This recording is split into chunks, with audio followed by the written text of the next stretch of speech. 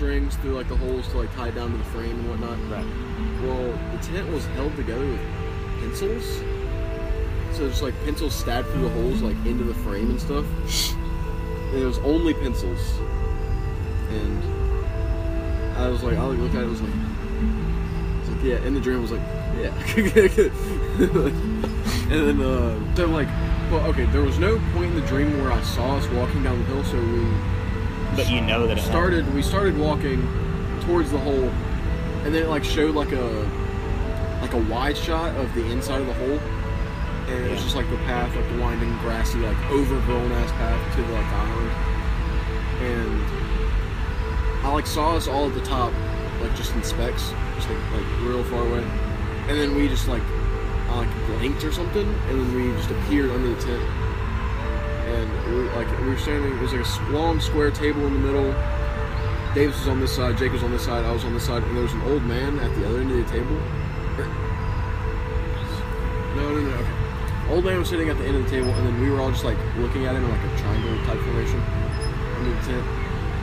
And we were all just like, but again, it's not from my perspective. It's very, it's third person, like far, like fixed camera Yeah. and uh, we were all just like standing there, just like like player models almost, just like very like statues. And that frame was only there; it was like there for like a good long time, like 20 seconds. And then the old man just like, uh, uh, I guess I blinked again, and he like turns around completely, so he's like facing the table now.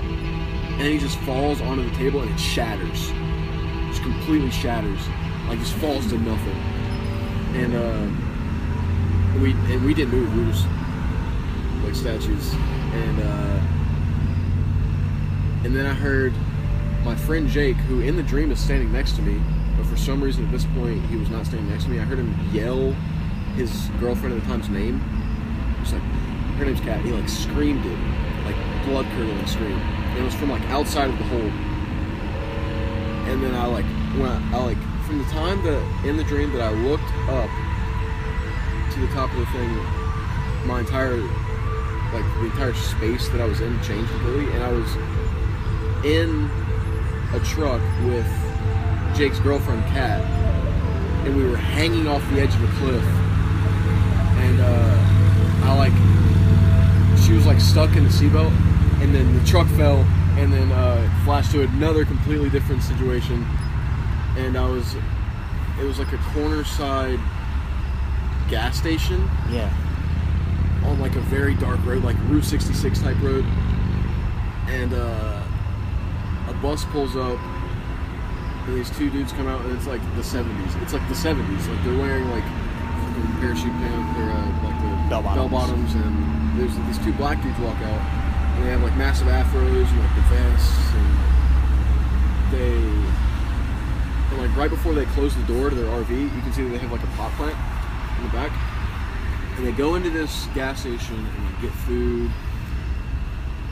But like when they're like checking out, like a whole bunch of they see like police lights like pulling up, and then um, when they see the police lights, they both like drop all their shit and they run back out to the car, and they grab the pot plants and they're like sprinting like just like away, and they like he just like tosses it, and uh, then the police start like chasing them around this gas station and he gets like tackled. And this point, and this is like all in first person. Mm-hmm. He gets like tackled and like shoved on the ground. So like my face is like in the dirt, and you can just see like a boot and like a police boot and like a dog.